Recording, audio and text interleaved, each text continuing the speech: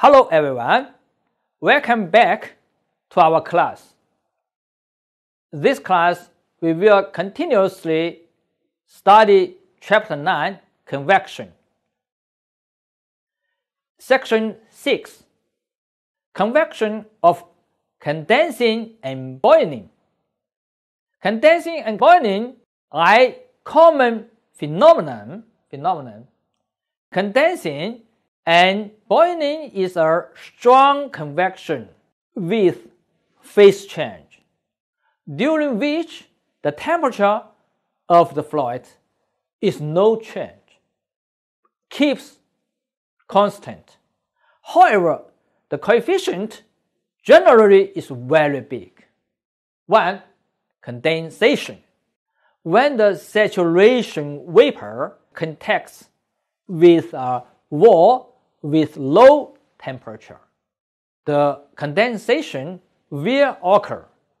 The vapor will condense and at the same time release the latent heat. If the condensation can easily wet the surface, which is film type condensation. Oppositely, if the condensation cannot wet the surface, some globules are formed. It is called globule type condensation. For example, many, many, many globules on the surface, like this, like this, like this. Okay, for film type condensation on a vertical plate, vertical plate is very typical, such as condensation is formed on a vertical plate. At the beginning, it is laminar flow. Certainly, this region is laminar flow. Laminar flow. Flow down towards. The film become more thick and flow velocity more fast, change into turbulent flow. To this region is turbulent flow. From small, fast, fast, fast, fast, fast.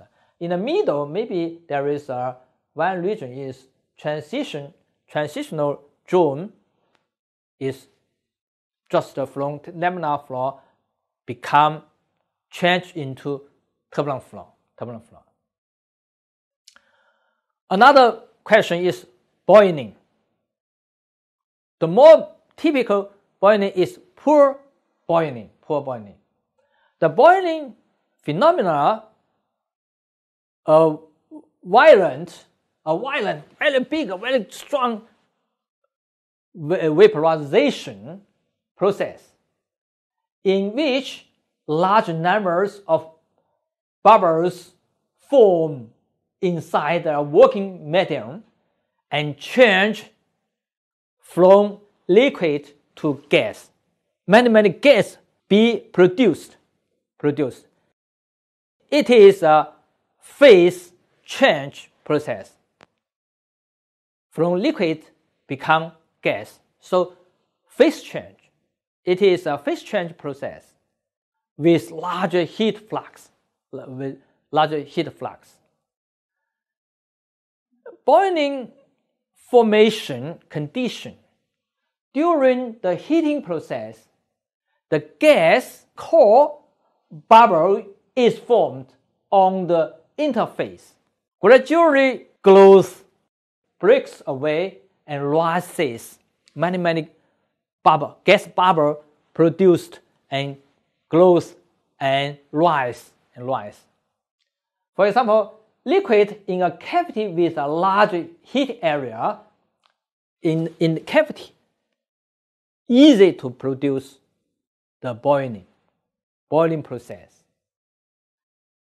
In this cavity, the residual gas in the cavity is favorable place for incubation of bubbles, of bubbles. The growth, growth of bubbles, very easy. More and more gas bubble be produced. Okay, let's discuss a very typical boiling process. Just is pool boiling process. In this case, there are two very special properties. One is the liquid must be overheated. Another one is the liquid must be large, very large. Many, many bubbles are produced in the liquid. For example, here's one bubble in the liquid. The bubble radius is R. Certainly for this one bubble, we can obtain the uh, force balance equation, just as bubble dynamics relation. We get the surface tension equals pressure difference between inside and outside of the bubble. In the bubble, the gas pressure is PV. The liquid pressure is PL, is PL. Certainly PV and PL is different, is different. So there is some force balance, force balance. Just is 2 pi r sigma equals PV minus PL times pi r power second. We obtain the PV minus PL equals 2 sigma over R. Here, the sigma is surface tension, surface tension. Because the liquid is overheated, so the liquid in the liquid, someplace in the liquid, PL certainly is larger or equals PS. Here, PS is the saturation pressure of the liquid, of the liquid. Because PL larger or equals PS, certainly we obtain PV minus PS must larger or equal to sigma over R. Over R. On the other hand, we consider the gas is ideal gas, so we can use the gas station equation together. Finally, we obtain an equation or relationship is delta T, the temperature difference, equals TL minus TS, also equals capital TL minus TS, must larger or equals 2 sigma over Rg rho V times R. In this equation, sigma certainly is surface tension. Rg is gas constant. Rho V is the density of the gas. R, here the R is the radius of the bubble, radius of the bubble. So we obtain very special the force, the temperature difference equation. We can do some calculation for the bubble, for one bubble. So this equation is very useful, very useful. Okay. Pool boiling can be divided into several stages, several stages. Different stages, the bubble is different. The bubble is different. Also, undergoes different process. The heat transfer flow rate is different. So different boiling stage, the heat transfer flow rate is different. Here is very typical the, the heat transfer flow rate with the temperature difference change. In the first range is free convection stage. From A to B is isolated bubbles range. From B to C is jets and clumps range, nucleate range. From C to D, this range, we can call it transition range. From D to E is a film boiling range. is different. So this curve is very, very special. We can call this point is critical heat flux. This point is E, most case is damaged point, damaged point. So the heat transfer flow rate is different. When the temperature difference, different difference is different. Okay, we can give more detailed explanation about this, this curve. In this A to B, this region, we call it isolated bubble area, bubble area, like this, many, many bubble produced, I produced. However, the bubble, bubble, bubble is still isolated, isolated. So in this region, it's very common, it's very common. Most case, most people observed it, observed it. However, from B to C, this region, because produce more bubbles, so many bubbles together, together become bigger bubbles, bigger bubbles. In this case, steam block area, block area together, several bubbles together become bigger, bigger bubbles. In this case, to C, C is critical heat flux, very big. The flux Q max maximum is very big, very big.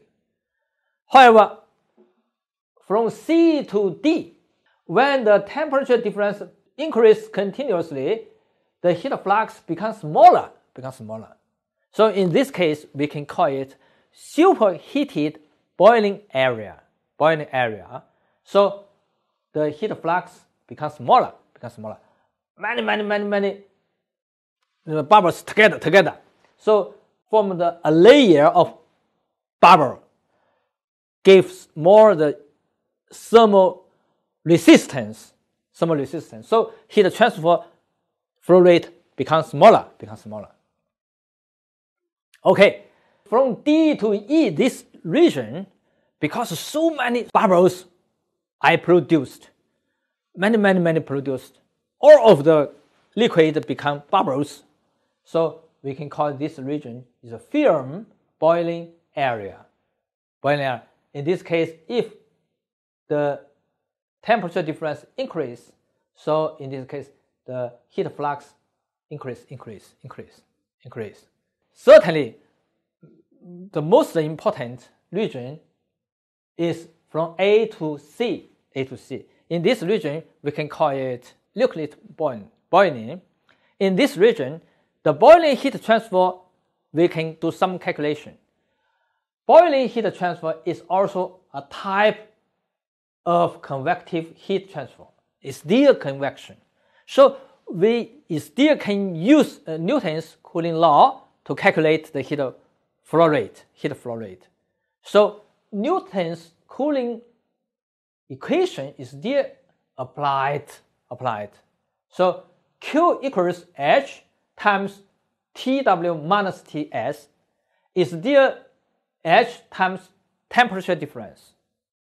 Here is flux, heat flux. The Nusselt number is still H times L over K over K. Is still CSF is a constant. Our Reynolds number L m power m plus number power n. We use this equation to calculate. Heat transfer processes is the most complex. Certainly the process is most com complex, very complex. Most influential factors, there is some influence on the heat transfer, heat transfer. So nuclear boiling correlation, nuclear boiling correlation, we can obtain Rohsenow's relationship, obtain proposed uh, equation to calculate the heat flow rate. Q equals mu L HFG G times rho L minus rho V over sigma. Sigma is surface tension. Power 1 over 2 times these terms.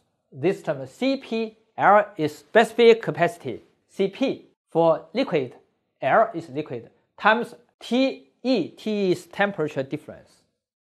CSF is a constant. HFG is the latent heat. Latent heat. Prandtl number, Prandtl number.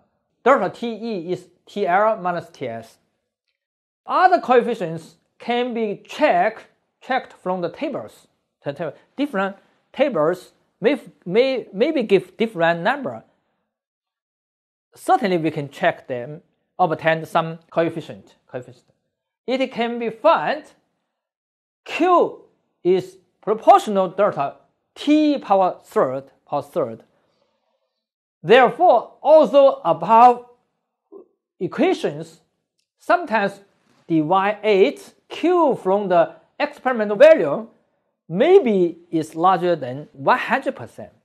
But if we understand, we know the q opposite to check delta t, maybe the dy8 only 30%. So we just, we can use this equation to do some simulation, simulation, simulation, obtain q or obtain delta t, delta t. Okay, thank you very much.